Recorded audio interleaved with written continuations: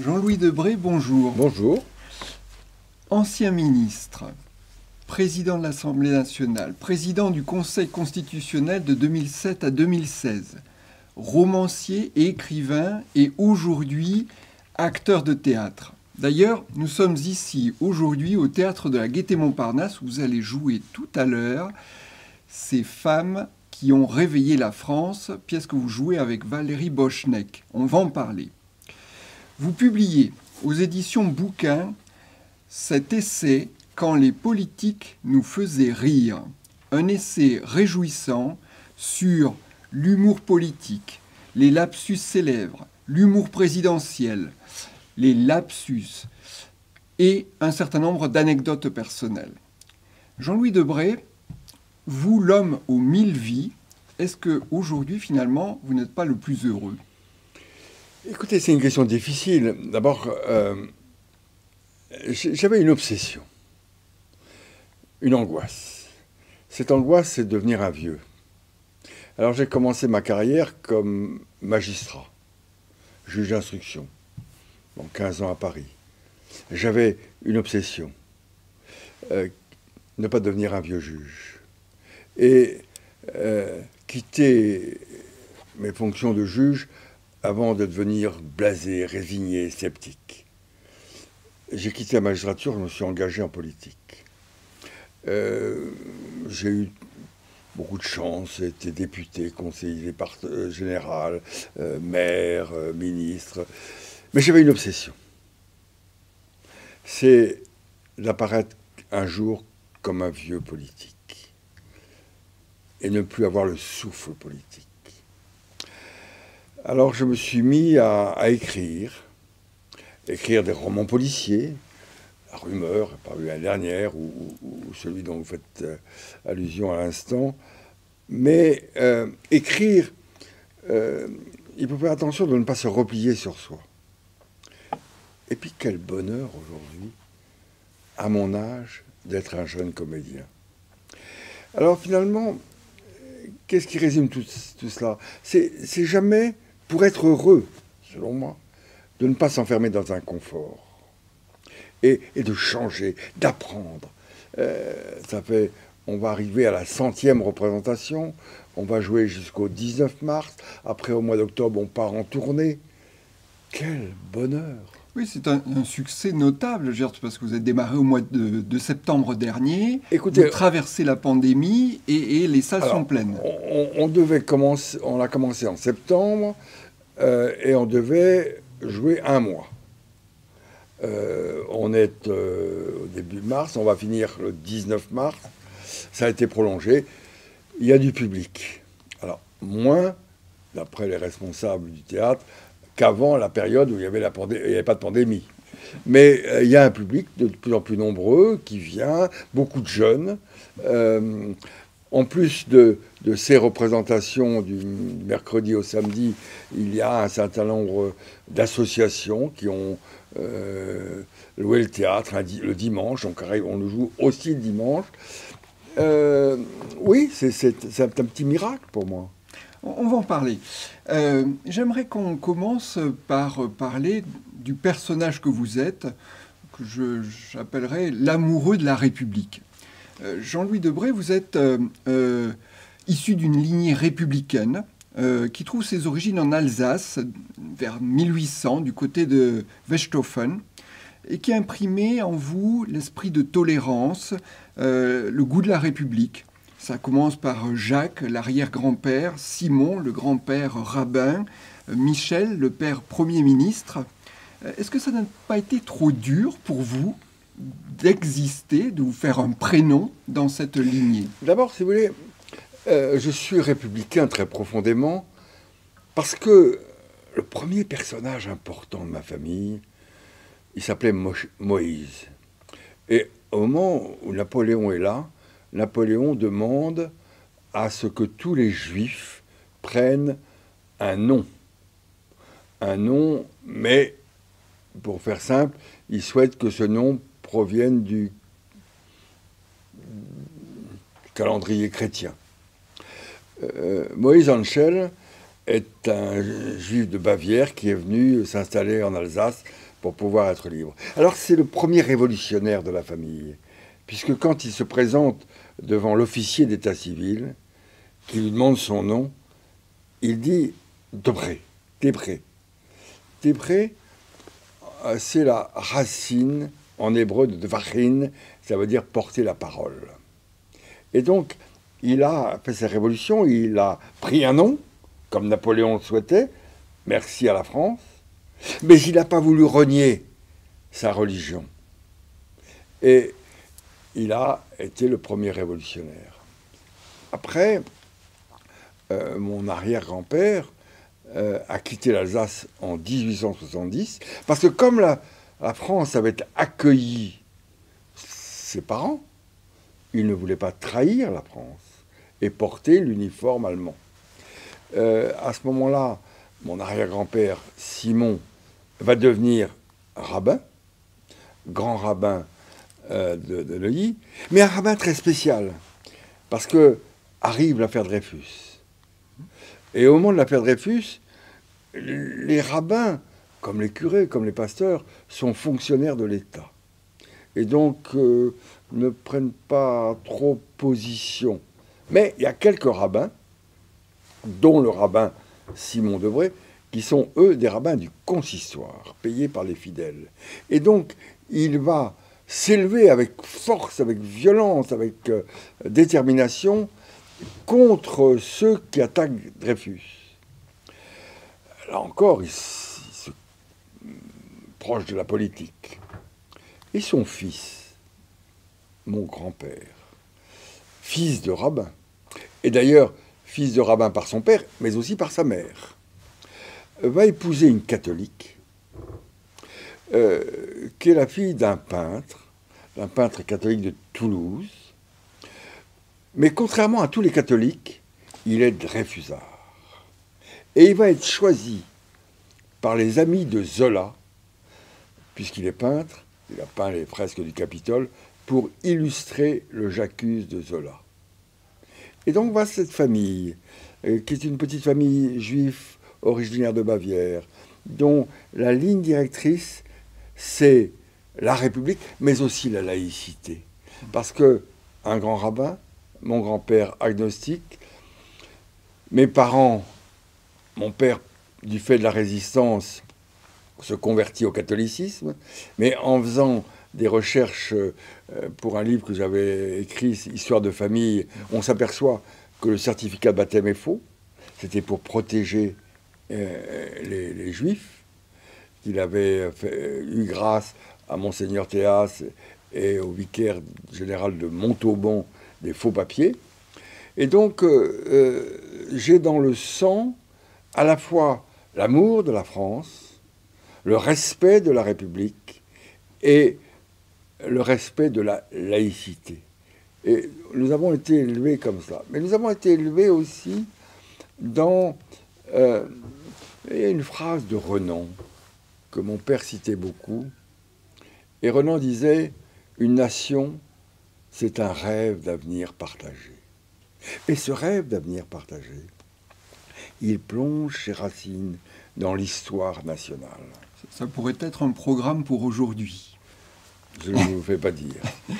Euh, alors, vous, vous, vous, puisez dans ces racines, euh, mais, mais comment faire votre place dans cette famille euh, Est-ce que c'était facile ou, pas facile?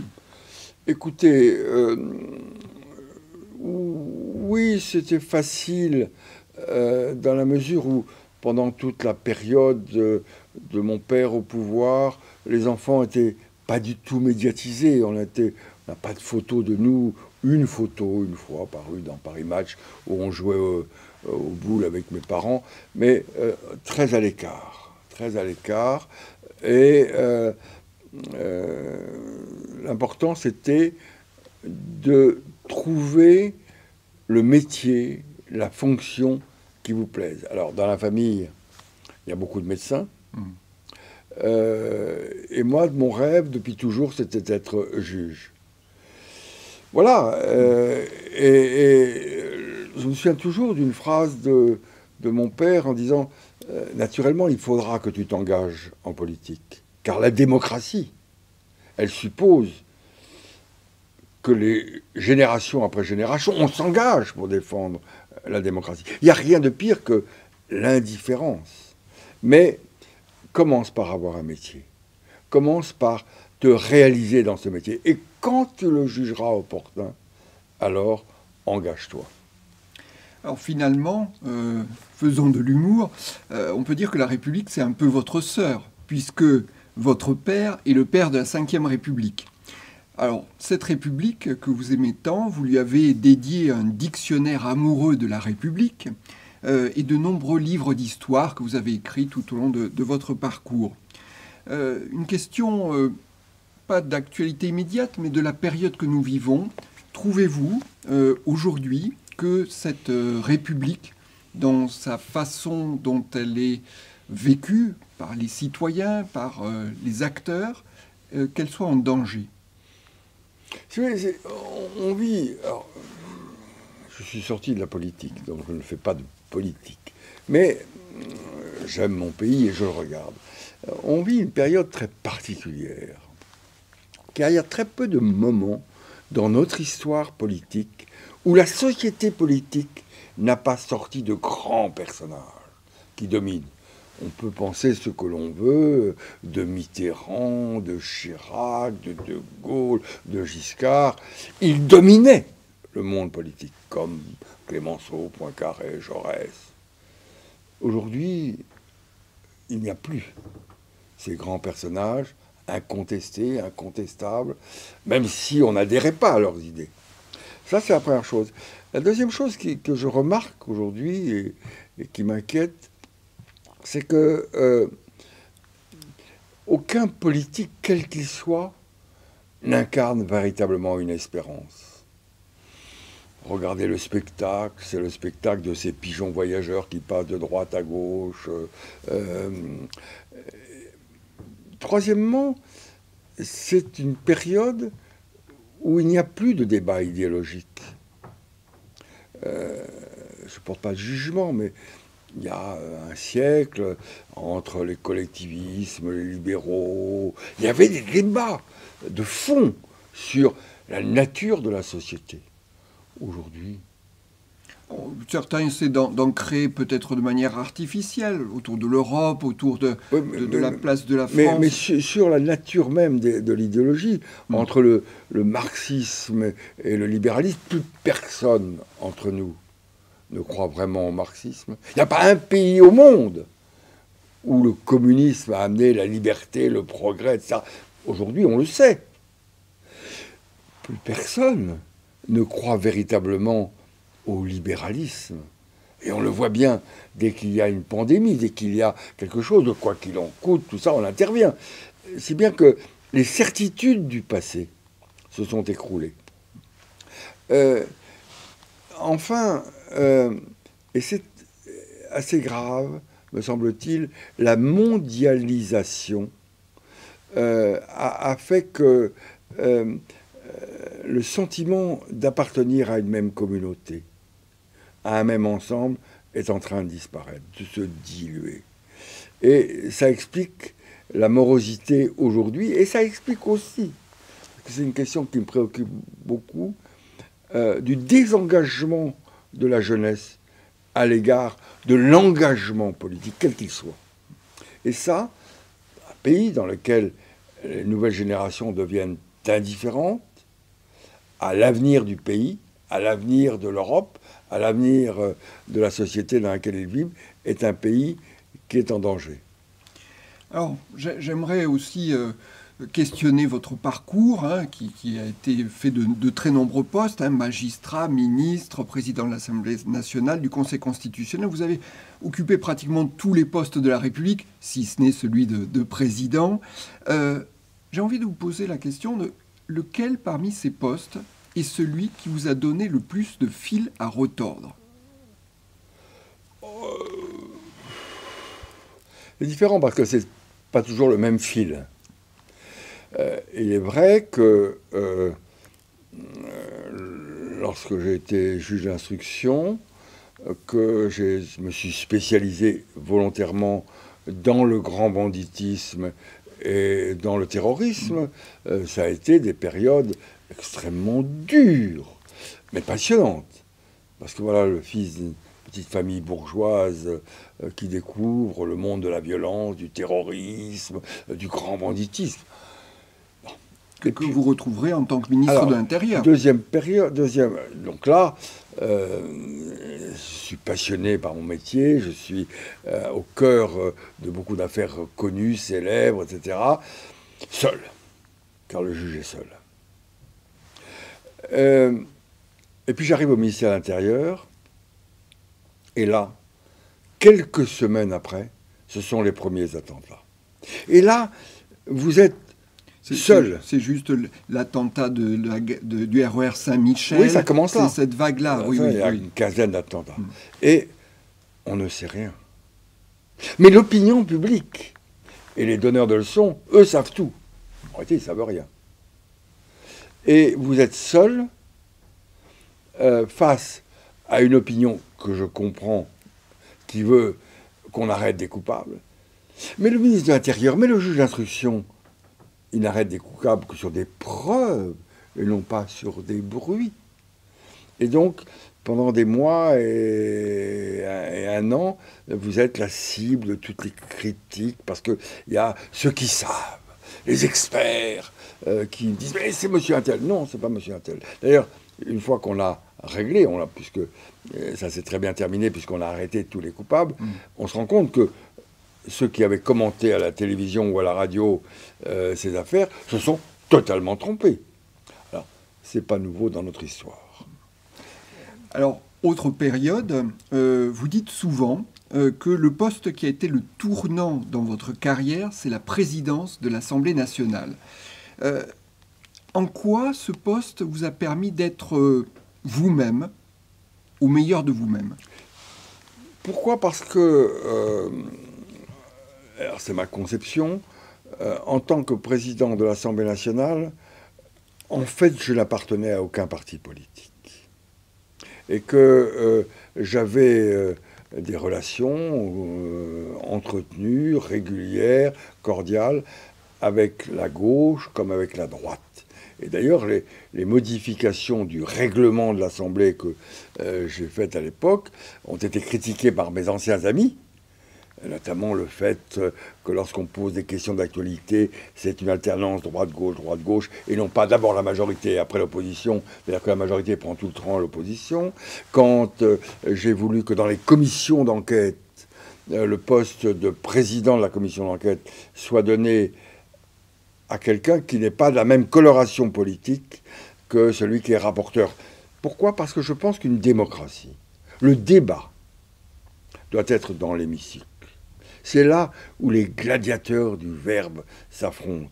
Si euh, vous muselez l'Assemblée nationale, si vous empêchez les uns et les autres de s'exprimer, de déposer des propositions de loi, euh, de faire partie de commissions d'enquête, euh, la contestation inhérente à toute société se déplace dans la rue. Alors, j'aimerais qu'on parle de cet essai, le rire en politique, et, quelque part, vous allez puiser dans cette expérience à l'Assemblée nationale beaucoup d'anecdotes. Euh, vous avez fait des, recherches, ce n'est pas qu'un livre de souvenirs, vous avez fait des recherches dans les professions de foi des candidats, dans notre histoire républicaine, euh, dans vos souvenirs. Comment expliquez-vous que le rire semble avoir disparu de notre vie politique actuelle? Oh, Il y a beaucoup de raisons. Euh, d'abord, il y a le fait que aujourd'hui, la classe politique a beaucoup moins de culture qu'il y a 50 ans ou un siècle. Quand vous regardez l'affrontement entre euh, Clémenceau et Jaurès, euh, quelle culture Ils peuvent citer des tirades, ils peuvent vous reprendre. Ils sont véritablement, ils ont l'art oratoire. Et d'ailleurs, vous vous imposez à l'Assemblée par l'art oratoire. Il ça. Deuxièmement, jusqu'à il y a encore une cinquantaine d'années, ou même un peu plus, euh, le député n'a pas de collaborateur. C'est lui qui fait ses discours, qui les écrit. Et quand euh, il les écrit, il met sa foi. Et d'ailleurs, très vite, on voit ceux qui croient en quelque chose. Aujourd'hui, ils sont entourés euh, de collaborateurs, de groupes politiques qui leur fabriquent leurs discours, et qui, ces discours sont faits, écrits souvent par qui Par des fonctionnaires, des administrateurs, sur le même style que vous soyez à droite ou à gauche. Et puis il y a les réseaux sociaux. C'est-à-dire que euh, le, tournant va être, euh, dans les années euh, contemporaines, l'arrivée d'abord de la télévision dans l'hémicycle, et puis après les réseaux sociaux. Et là, on voit très bien que le montage à la télévision ou le montage dans les réseaux sociaux peuvent isoler une phrase, vous mettre dans une situation délicate, si bien qu'il y a une police du verbe. Et puis, jadis, le rire avait une fonction. Dans les euh, grands hommes politiques de la troisième, de la quatrième, et même au début de la cinquième République, euh, le rire a une fonction d'abord euh, pour rassembler ses militants, ses sympathisants, faire rire. Ça vous donne la sympathie de tout le monde. Mais c'est aussi le rire, une façon de cibler son adversaire. Car faire rire au dépens de son adversaire, c'est le mettre dans une situation totalement inconfortable. Mais pour faire rire, il faut du génie, il faut du talent, et il faut croire en quelque chose. Or, au tout début de votre carrière politique, euh, alors, de la carrière de député en 1986, vous faites votre entrée à l'Assemblée nationale euh, et euh, il se trouve que vous êtes assis entre votre père et votre frère et votre frère, puisqu'on est selon l'ordre alphabétique. Et tout à côté est assis Gaston de Fer, le, tout-puissant maire de Marseille. Et par-dessus l'épaule, il vous donne quelques conseils. Oui, d'abord, la, la, génération que j'ai un peu connue, mais la génération des députés qui m'ont précédé, était une génération, quelle que soit leur appartenance politique, pour les députés, d'hommes ou de femmes issus de la résistance. Et euh, au-delà des étiquettes politiques, il y avait un respect et il y avait une espèce d'entente. Euh, et le premier jour je suis élu, il y a mon frère, il y a mon père et il y a moi. Et mon père se met au milieu de ses deux enfants. Et j'ai sur ma droite Gaston de Fer. Et Gaston de Fer, euh, mon père s'adresse à lui et lui dit Je te confie Jean-Louis. C'est une conséquence de la résistance. Hmm. Et à ce moment, Gaston de Fer, Gastounet comme on l'appelait, euh, me dit voilà, écoute, c'est très simple. D'abord, tu vas te mettre dans un emplacement de l'axe des caméras, il faudra qu'on te voit. Tu mettras une cravate de couleur pour qu'on te repère. Et quand tu feras une intervention, fais-la l'hiver, et pas au printemps et pas à l'été, car ta circonscription est une circonscription en grande partie rurale. Or, les ruraux, au printemps et à l'été, sont dans les champs. Et euh, tout ça, c'est le fruit d'une observation. Et pendant tout le temps où il a été là, il, me, me, surveillait, entre guillemets, même si nous ne partageons pas et tout le même engagement. Mais, vous c'était très fort. C'est et avec beaucoup d'autres personnages qui étaient dans, dans l'hémicycle, euh, le fait que mon père a été un, membre important de la résistance, il a joué un rôle, il y avait une solidarité, il y avait un respect, il y avait de la considération. Euh, et ça, ça a joué beaucoup dans les premières assemblées, encore de la Ve République, de la quatrième sûrement, moi je n'ai pas connu, mm-hmm. et la Ve République. Et quand je suis arrivé en 86, c'était la fin. Mm. Alors, quelques années plus tard, dans cette même Assemblée nationale, euh, vous êtes président de l'Assemblée nationale, euh, euh, tout là-haut dans le perchoir, tel qu'on l'appelle, et cette préoccupation d'être vu à la télé est devenue importante. Et je crois qu'il y a un, jour une députée polynésienne qui rentre dans l'hémicycle. Comment avez-vous réagi? Oui, on voit bien l'évolution. sous un siècle, un siècle et demi, le discours est important. On a une capacité d'attention plus longue. Là, il faut trouver la petite phrase, le geste, qui va vous faire remarquer. Et euh, un jour, euh, je suis au perchoir, un huissier me prévient qu'une députée va arriver avec un chapeau sur lequel il a posé un ananas, une banane. Euh, c'est pas possible. J'outrepasse mes pouvoirs de président et je lui fais interdire l'entrée dans l'hémicycle. Après, j'ai une explication avec elle. Et en réalité, elle avait compris une chose.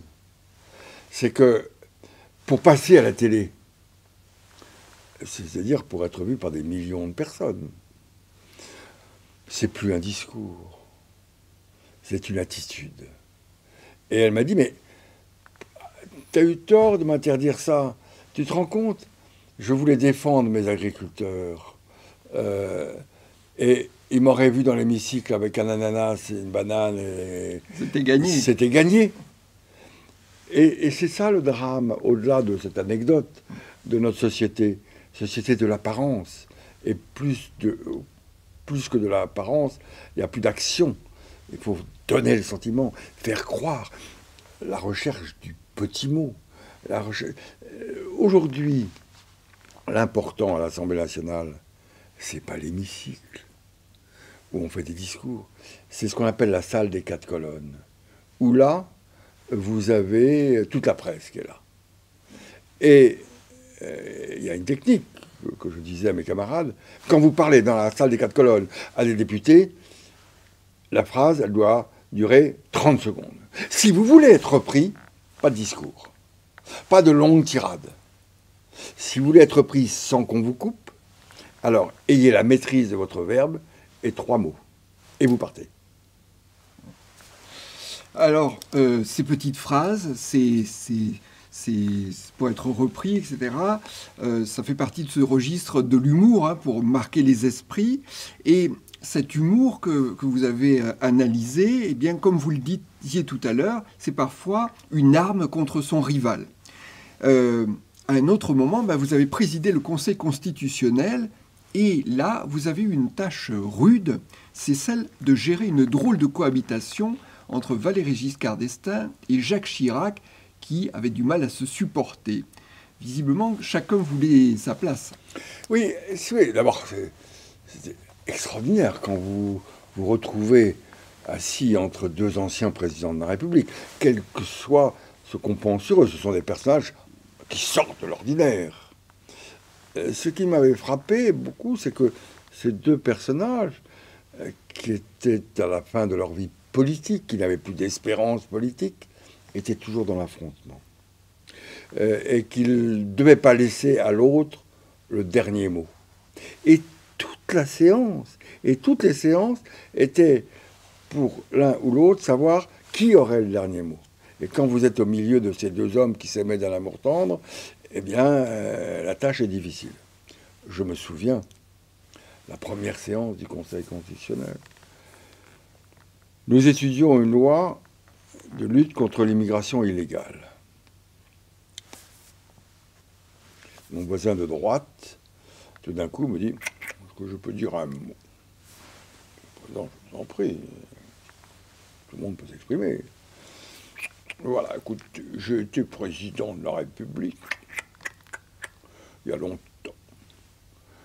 le problème de l'immigration illégale se posait, mais à l'époque, mon Premier ministre n'était pas très bon sur ces questions. Silence. C'est là où vous découvrez la solitude du pouvoir. Parce qu'autour de la table, vos huit camarades regardent dehors c'est lui le président qui se débrouille. À ma gauche, Chirac ne bouge pas, mais je sens son genou bouger, ce qui est très mauvais signe. Au bout de dix minutes, mon voisin de gauche dit ah, Est-ce que je peux m'exprimer? Monsieur le Président, je vous en prie. Ah, écoutez, euh, entendu tout à l'heure euh, notre collègue euh, dire qu'il avait été président de la République. Ah, moi aussi. Vous êtes seul, hein, les autres sont cachés. Hmm. Ah, et la différence ah, entre lui et moi, c'est que j'ai été réélu. Silence. Fin du banc. je suis contraint de lever la séance parce que mes, mes camarades autour de la table n'arrivent pas à, éclater de rire parce que l'ambiance n'est pas là. Mais on a levé la séance, euh, nos deux présidents se sont évanouis et ne sont pas revenus heureusement en séance.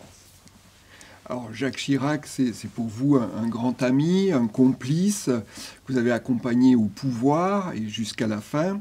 C'est un grand amateur d'humour politique. D'ailleurs, dans, cet ouvrage, vous en faites tout un florilège hein, à la façon de, Cyrano. Euh, quel est le souvenir le plus marquant, plus drôle ou la situation la plus cocasse euh, que vous ayez partagé avec Jacques Chirac? Euh, Si vous voulez, c'est difficile parce que euh, Chirac, c'est un peu audiard. Euh, il a, heureusement, les réseaux sociaux étaient au début. Tout d'un coup, il sort des, choses vous n'attendez pas. Hein. Un jour, euh, bah, j'étais mise à l'intérieur. il n'y avait que des ennuis, que des difficultés avec la lutte contre le terrorisme. Et, il me dit, puis j'écoute les commentaires de tous ces gens qui vous expliquent, qui savent. Et je l'ai au téléphone et il me dit, tu sais, les emmerdes, c'est comme les cons, ça vole en escadrille. Et, ce sont des expressions qui sont rentrées euh, dans, dans le... Euh, oui. qui, se sont que, que, que, on va dire, qui ont une telle notoriété c'est un président de la République, enfin, puis par les souvenirs des uns et des autres, elles circulent, ce qui fait qu'aujourd'hui, euh, elles sont marquées. Oui, et, pour lui, c'est euh, un, jour, euh, il voit des, gens qui revendiquent, des militants d'opposition, et il, il, se retourne vers eux et dit La France n'est pas le palais de Dame Tartine personne ne comprend. Et en réalité, c'est une vieille chanson française. Euh, quand dans une réunion euh, publique, euh, dans la campagne électorale, je crois que c'était à Saint-Étienne, il dit il faut mépriser le haut et rapiécer le, bas. Phrase surprenante. Et quand je l'interroge après, je dis mais c'est quoi? Ah ben, C'est ma grand-mère qui expliquait que pour les chaussettes, il fallait rapiécer le bas parce que ça, s'abîme tout le temps et mépriser le haut parce que là, c'est pas grave. Il y avait ce mélange à la fois euh, de culture populaire, mais aussi du haut diard.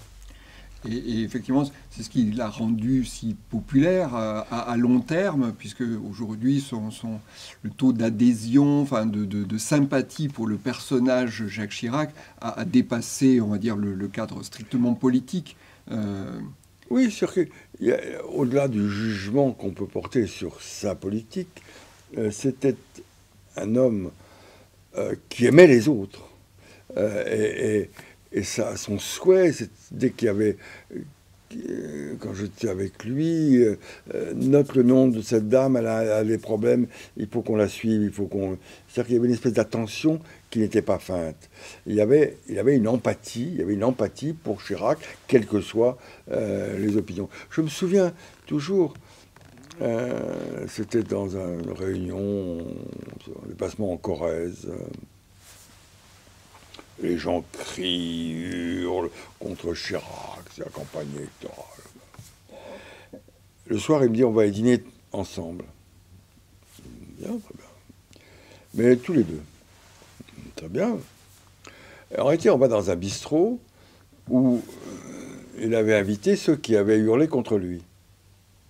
Et il dit au, au responsable, celui qui a crié le plus fort, Qu'est-ce que tu m'en as foutu dans la gueule et le mec en face dit Écoute, tu sais très bien que je vote pour toi. il y avait une espèce d'empathie, il y avait.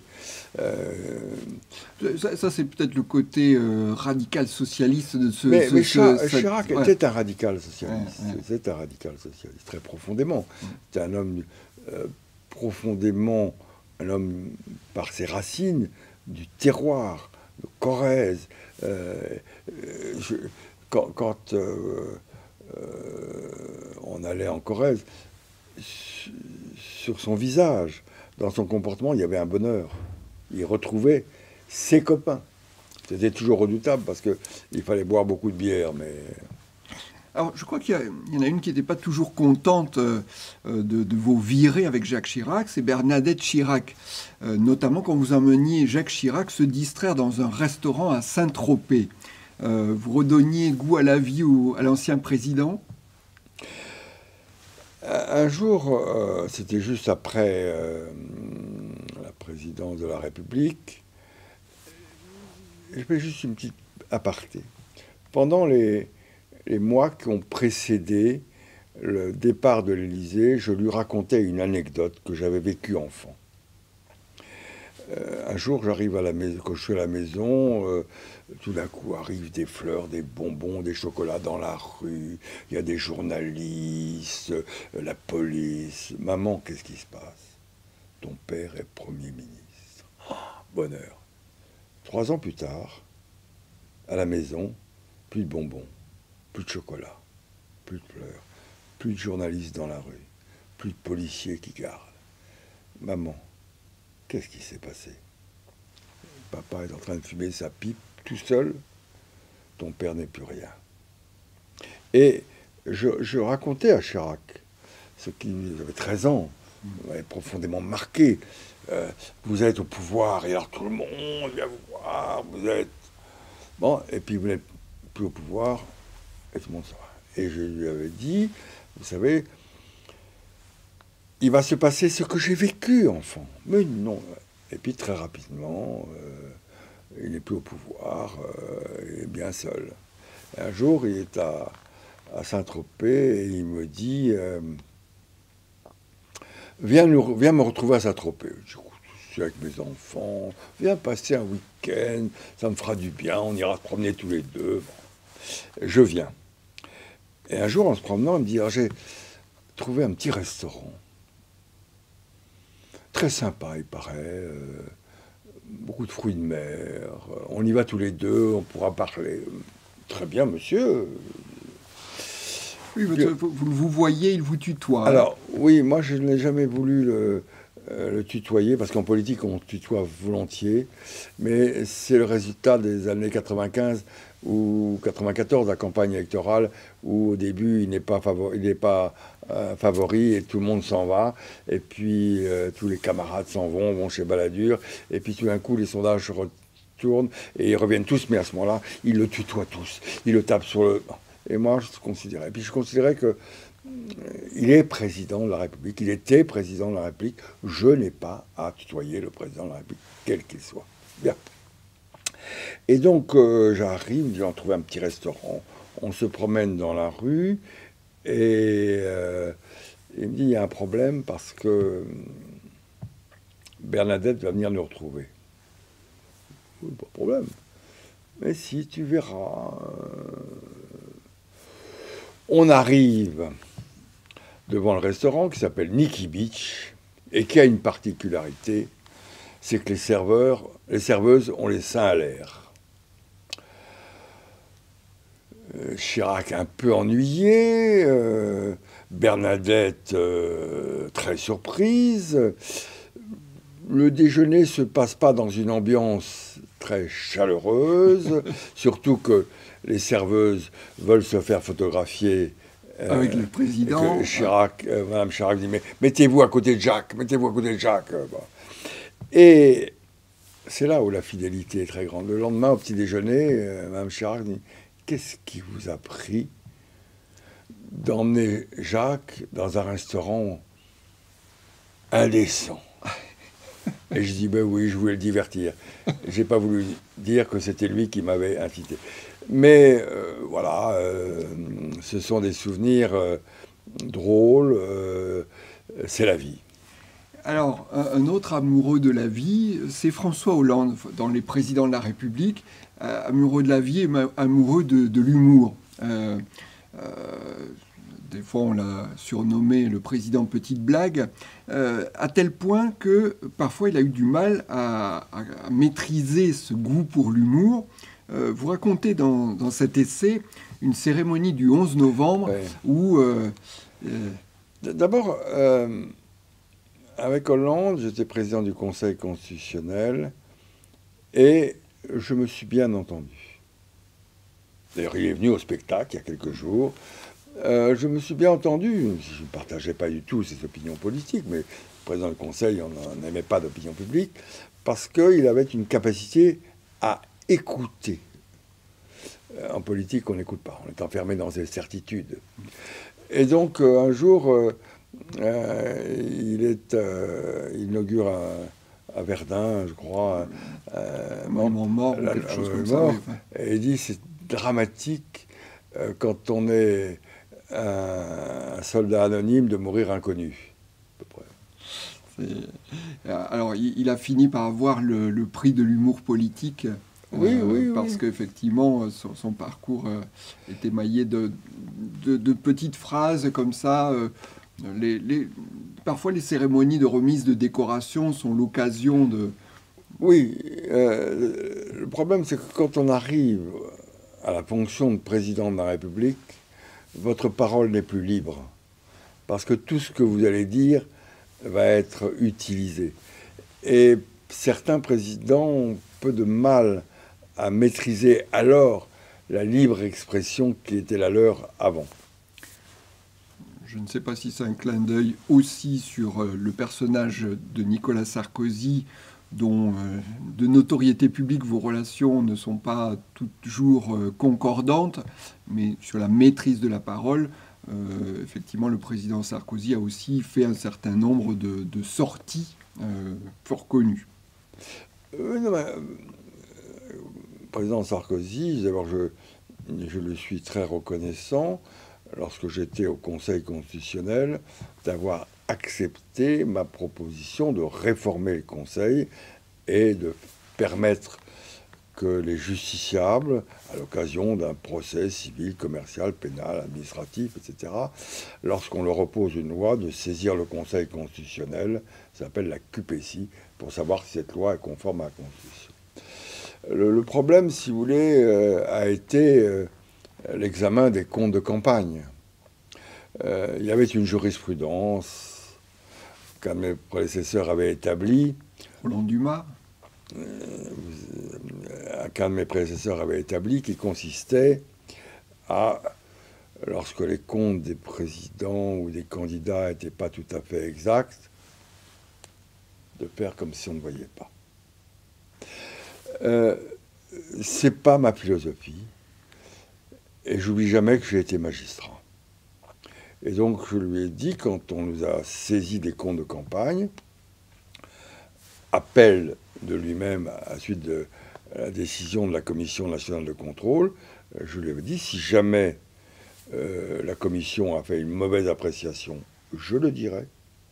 Mais si il s'avère, à la suite des investigations que nous allons faire, euh, ces comptes sont inexacts, je le dirai. et les investigations très poussées, très scrupuleuses que nous avons diligentées ont montré que les comptes n'étaient pas exacts. On est sur l'élection de 2012. Oui. Euh, et par conséquent, le Conseil est annulé. Drame. Drame, nos relations se sont dégradées. Je dois vous dire que je me félicite tous les jours d'avoir pris cette décision. Pourquoi? Parce que un an plus tard, c'est l'affaire Big Malion. Qu'est-ce qu'on aurait dit si, alors que nous avons examiné les comptes, nous avions fait comme si on ne voyait pas? On nous aurait dit, c'était la fin du Conseil constitutionnel. Et donc, quand vous êtes titulaire d'une institution comme le Conseil constitutionnel, de même lorsque vous êtes magistrat, vous n'avez plus à faire jouer une quelconque relation ou amitié. Voilà. Jean-Louis Debré, parlons de l'acteur que vous êtes aujourd'hui et de cette pièce, Ces femmes qui ont réveillé la France. Avec cette pièce de théâtre, vous évoquez 20 femmes. 20 pionnières de la République, des femmes qui ont osé, osé défier le pouvoir de l'ordre établi. Pourtant, ce pourrait être des hommes.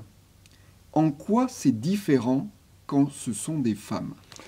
Si il faut se replacer dans le contexte du 19e siècle et du début du 20e siècle.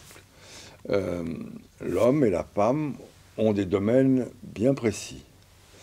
Euh, je, raconte euh, avec ma partenaire Valérie Bochnek cette proposition de loi que nous avons découverte, qui portait comme titre au moment de la Révolution Défense d'apprendre à lire, à écrire aux femmes. Apprendre à lire aux femmes est un hors-d'œuvre nuisible à leur éducation naturelle. C'est une société très compartimentée où il y a les hommes et il y a les femmes. Chacun a son rôle. Un certain nombre de femmes ont voulu casser euh, ce compartimentage. Alors, on en parle peu parce que notre histoire est écrite par des hommes et qu'elles ont gagné ce combat sur les hommes. Parfois, d'ailleurs, elles étaient accompagnées par des hommes. Euh, quand, quand euh, on évoque euh, la première femme médecin, première femme médecin en France, on lui dit, mais vous pouvez être infirmière, mais pas médecin. Et un des une grande sommité de l'époque dit, la femme ne peut prétendre à parcourir la carrière médicale qu'à la condition de cesser d'être une femme.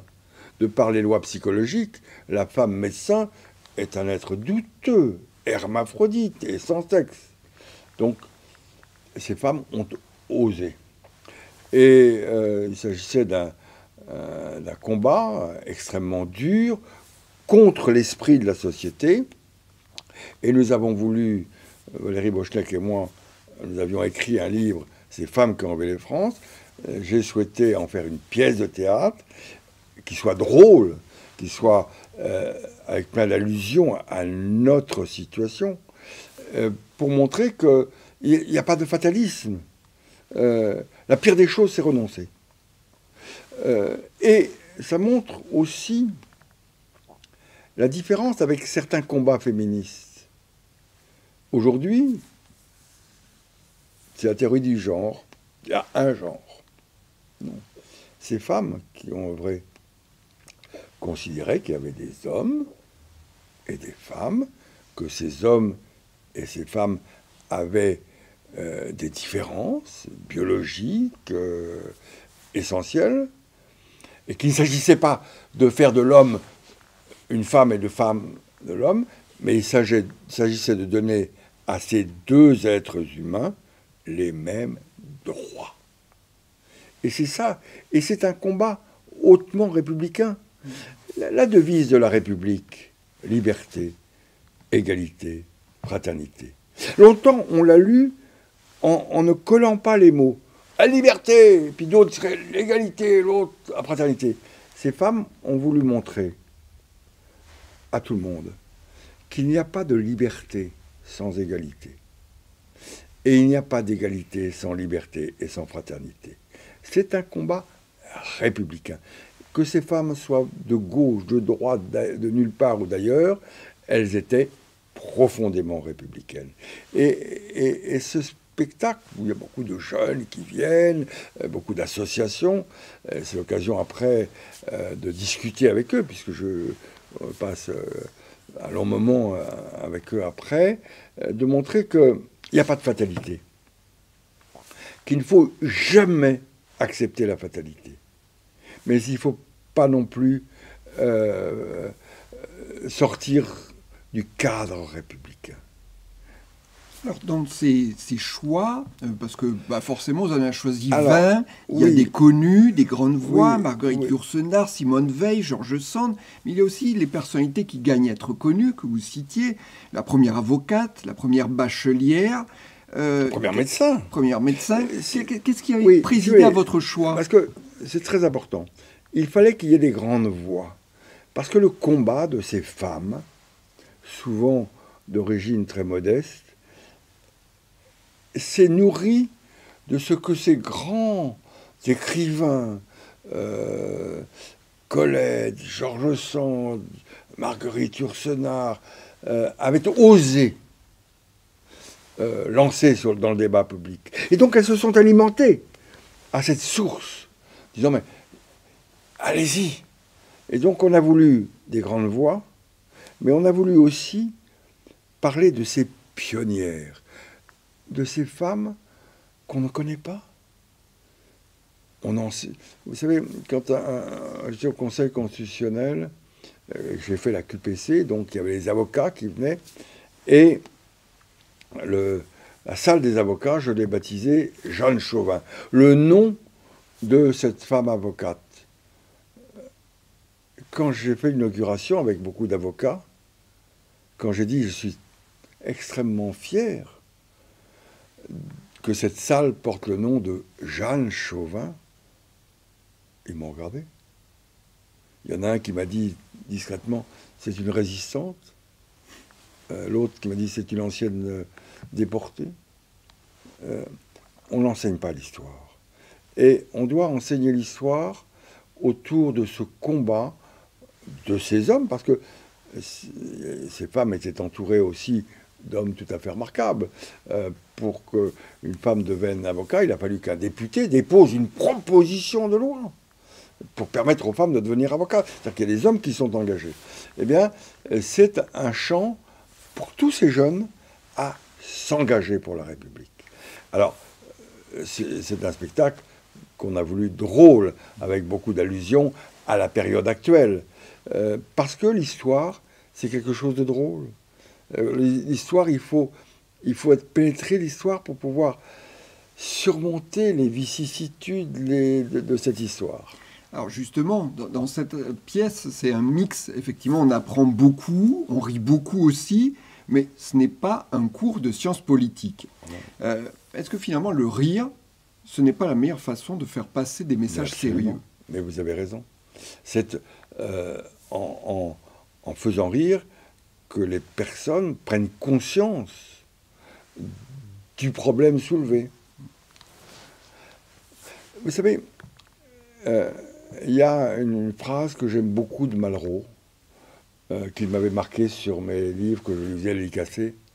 Il se peut que l'une des fonctions de l'art soit de donner conscience aux hommes de la grandeur qu'ils ignorent en eux.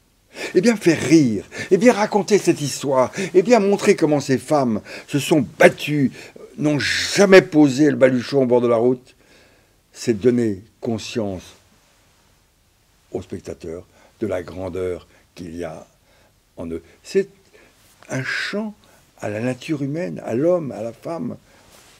Alors, euh, Jean-Louis Debré, on arrive un peu au terme de cet échange. Je voulais vous poser une question personnelle.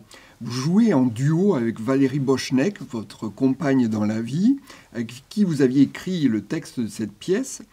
Est-ce que c'est tous les jours, euh, tous les soirs facile de s'accorder? Parce que dans la journée, on peut avoir euh, ces moments euh, de, complicité, puis d'autres moments où on s'énerve dans la journée. Est-ce que cela a du retentissement sur le jeu de l'acteur? Mais il y a un miracle qui se pose. Ce miracle, c'est quand le rideau s'ouvre. Vous oubliez tout, vous êtes concentré tous vos problèmes, tous vos soucis, toutes vos difficultés. Euh, moi, ce miracle, il commence un quart d'heure, une demi-heure avant, avec un énorme tract, avec euh, est-ce que je vais pas avoir un trou de mémoire, est-ce que, est que je vais être bien placé, est-ce que et, et quand le rideau s'ouvre, qu'il y a le public, que le public vous écoute, et puis un moment extraordinaire quand il rit et là, vous sentez que ça y est, vous êtes ensemble. Vous êtes ensemble sur un chemin qui est le chemin de la grandeur française. Alors justement, grandeur française, est-ce que les techniques théâtrales euh, ressemblent à celles de la politique euh, dans une assemblée nationale? Est-ce qu'on utilise quelques ficelles? la, politique est devenue un métier du spectacle. Parfois trop. Mais un spectacle très différent. Le politique, quand il fait des discours, il fait des discours devant des militants, devant des sympathisants. Euh, il peut improviser. il peut dire ce qu'il veut. Quand vous êtes sur une scène, il faut respecter votre texte. Pourquoi? Parce que ce texte, la fin conditionne le départ de votre partenaire. Mais ce texte aussi, il conditionne le machiniste des Lumières. Car il y a des jeux de lumière. Si vous ratez le dernier mot, si vous dites euh, une autre tirade au lieu de celle prévue, ben, personne ne s'y retrouve. Deuxièmement, à différence du métier politique, euh, vous parlez devant des gens que vous ne connaissez pas, qui ont acheté leur billet, qui viennent pour apprendre, comprendre, rire, mais qui ne vous sont pas favorables. Euh, la relation avec le public est très différente. D'ailleurs, c'est tout le jeu d'essayer d'amener le public vers soi, de le faire venir sur son terrain. Donc c'est totalement différent. Et puis, là, on est à la centième. Et il n'y a pas de lassitude. Parce que chaque jour, le public est différent. Chaque jour, les réactions sont différentes. Le public du vendredi, ou du jeudi, ou du mercredi, n'est pas le public du samedi. Et là, on le sent tout de suite. Et, c'est un bonheur absolu. Alors, euh, Jean-Louis Debré, on cite votre nom pour le cinéma. Est-ce que c'est encore une nouvelle vie? C'est une information ou une intox? Ce n'est pas une intox. Est-ce que vous en direz plus? Écoutez, euh, tant que rien n'est fait, euh, hein, mais euh, les choses sont bien engagées. Quel bonheur de changer de vie. dernière question, sans que vous alliez forcément au bout de la réponse, avez-vous fait votre choix? Dans l'élection présidentielle qui se présente devant nous je, regarde, si vous voulez, je regarde les uns et les autres. Euh, je sais pour qui je ne voterai jamais, euh, mais non, mon choix n'est pas encore fait. Et en tout cas, même s'il était fait, je ne veux pas, euh, l'exprimer, parce que je suis sorti de la politique. Je suis un citoyen comme un autre. Et je crois que la force de la République, c'est pour ça que je suis très réservé sur le vote euh, par correspondance ou le vote pas électronique. Parce que la force de la République, c'est l'isoloir. Vous êtes seul face à vous-même. Votre patron peut vous dire votez comme ça, comme ça. Oui, chef. Et dans l'isoloir, vous êtes tout seul. C'est ce qui a sauvé la République. Et donc, je suis euh, je comprends qu'on demande à un homme politique pour qui allez-vous voter. Mais je ne suis plus un homme politique. Je suis un citoyen ordinaire. Et en tant que citoyen ordinaire, mon vote m'appartient. Merci beaucoup Jean-Louis Debray pour ce témoignage de citoyen ordinaire, pas tant que ça, euh, pour cette évocation de multiples moments et euh, on va laisser l'acteur se préparer parce que dans quelques minutes, vous allez passer de l'autre côté. Merci beaucoup. Merci.